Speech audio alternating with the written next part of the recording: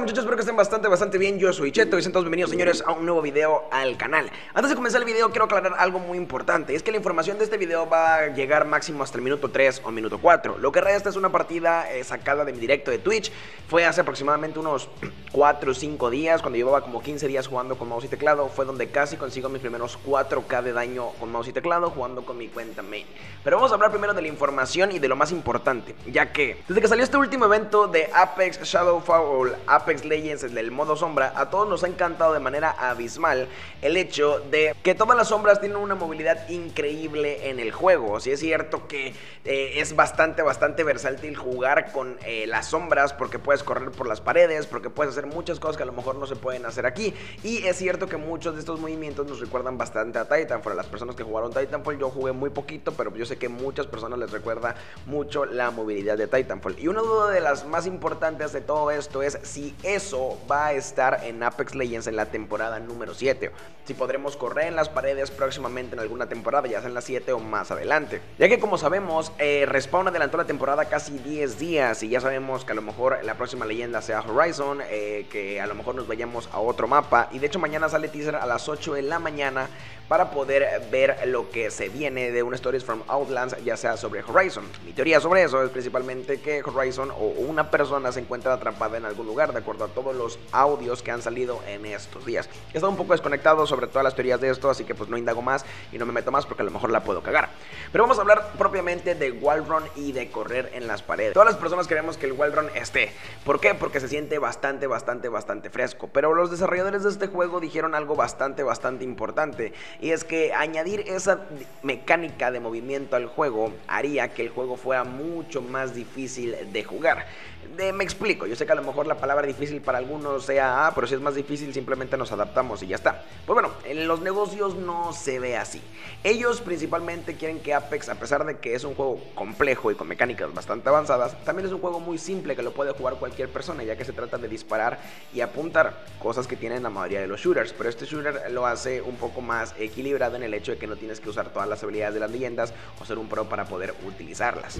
Lo que este desarrollador quería decir era que en Titanfall era mucho más eh, factible tener ese tipo de movimiento porque el tipo de juego era arenas, equipos contra equipos, ya sea un equipo de 4, de 5, de 6 contra un equipo de 6 en mapas un poco más pequeños. En Apex Legends no podrían agregar esa dinámica de movimiento debido a que los mapas de Apex Legends, con, tomando en cuenta el próximo mapa Olympus, que se sabe que puede tener bastantes rascacielos, si pudiéramos correr por las paredes el juego sería completamente frenético. Y con esto del crossplay sería bastante difícil traquear enemigos con mucho movimiento siendo de control. Obviamente difícil, no imposible, porque ahorita seguramente sale ahí el... Y es que yo sí lo puedo hacer, soy el mejor del mundo, güey. Independientemente de que tengamos a los mejores del mundo viendo este video y que son personas muy capaces de poder hacer muchas cosas, eh, los desarrolladores de Apex se ponen a pensar primero que nada en que el juego sea mucho más fácil de jugar de lo que ya lo es. Y añadir estas nuevas mecánicas de movimiento haría que gente nueva no viniera al juego. Como saben, cada temporada ellos intentan con mucha propaganda, mucho marketing, contratando bastantes influencers o creadores de contenidos bastante grandes que a lo mejor no juegan mucho el juego, pero que hacen que la gente venga a jugarlo. Pues obviamente si esta mecánica de movimiento es añadida, la gente que llevamos ya más tiempo a lo mejor podríamos adaptarnos o la gente que ha jugado Titanfall tendría mucha más ventaja en contra de las demás personas. Y hasta ahí todo bien, pero el problema sería las nuevas personas que vienen al juego que a lo mejor no se puedan quedar enganchadas debido a que la mecánica de movimiento de Apex sea bastante, bastante, bastante compleja. Y ya está. Simplemente por eso Respawn no piensa meter el Wallrun para que este juego no sea mucho más difícil y porque las dinámicas de espacio de este juego pueden hacer que correr por las paredes sea algo completamente aterrador o abismal. Obviamente habrán jugadores que se adapten muy rápido, que utilicen muy bien y también habrá otros jugadores que no se adapten para nada rápido y decidan dejar el juego. Yo creo que la mayoría de las personas decidirían dejar un poco el juego así se, se vuelve mucho más difícil. De hecho, sabemos que Apex Legends no es un juego que lo pueda jugar cualquier persona. De hecho, tienes que tener un poco de skill individual para poder desenvolverte, ya que es bastante, bastante complejo en algunos aspectos. Entonces, añadirle más complejidad al juego yo creo que haría que eh, automáticamente más personas dejaran de jugar el juego. Si quieres leer más sobre esto, el link va a estar aquí en la descripción, está en inglés. Eh, todo lo que posteó esta persona, todo lo que posteó este desarrollador sobre por qué no vamos a, ver este tipo de mecánicas de movimientos en Apex Legends. Y pues nada, Recuerda pues simplemente seguirme en mis redes sociales, van a estar aquí en la descripción, streams en Twitch casi todos los días entre 6 o 7 horas de México. Estamos dándole duro al Apex con teclado y ratón para ya el próximo mes eh, comenzar a rankear durísimo otra vez a ver si podemos llegar a Pred con teclado y ratón. La veo muy imposible, la veo difícil, pero bueno, no me canso de intentarlo, señores, porque pues quiero llegar a ese Predator aunque sea también con teclado y ratón. Sin nada más que decir, espero que os haya gustado muchísimo, muchísimo este video y déjame aquí en los comentarios, ¿tú quieres que tengamos el Wallrun? ¿No quieres que tengamos el Wallrun? Si lo quieres, eh, ¿te gustaría que metieran un modo de juego nada más con eso? Eh, por favor, déjamelo aquí abajo porque quiero leerlos absolutamente todos. Pues nada, ahí lo guachamos, gente bonita. Bye.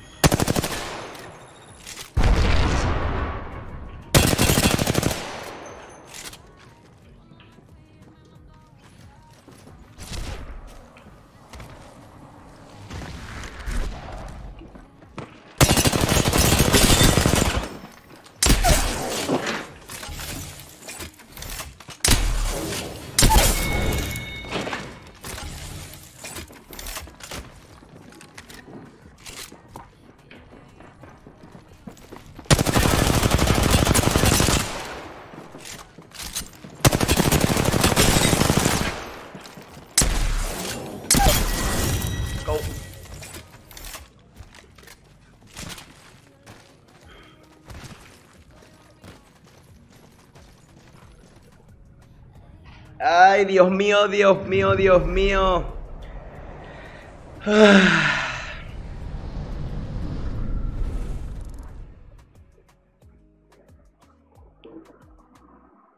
La siguiente promoción va a ser para el señor Crack FPS. Este muchacho es un streamer de Twitch que no tiene mucho que comenzó a hacer streams aquí por Twitch y creo que vale bastante, bastante la pena apoyarlo. He jugado con él, he tenido la oportunidad de jugar con él, él me ha dado la oportunidad de jugar con él y juega bastante, bastante, bastante bien. Y si andas jugando o buscando un jugador que juegue con control de servidores de PC contra muchachones pesadísimos como son los Predator, te invito a venir a su stream porque vale bastante, bastante la pena. Link aquí en la descripción, canal de Twitch y si pasas por ahí a verlo, pues dile que vas de mi parte. Nos vemos.